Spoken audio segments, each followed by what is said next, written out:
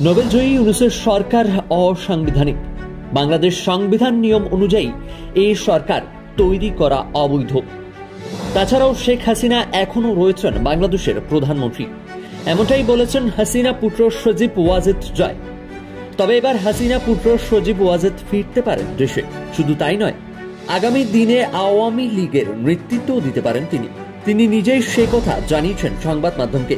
তিনি আরও জানান, দীর্ঘদিন নির্বাসনে থাকতে নারাজ বাংলাদেশ প্রাক্তন প্রধানমন্ত্রী শেখ হাসিনা। তিনি এও ইঙ্গিত দিয়েছেন, পুনরায় রাজনীতিতে ফিরতে পারেন হাসিনা। এক সর্বভারতীয় সংবাদ মাধ্যমকে দেওয়া এক সাক্ষাৎকারে হাসিনা পুত্র সজীব বলেন, মায়ের সাথে কথা হয়েছে, আপাতত ওনার কোনো পরিকল্পনা নেই। এই মুহূর্তে উনি যেখানে আছেন সেখানেই থাকতে চান।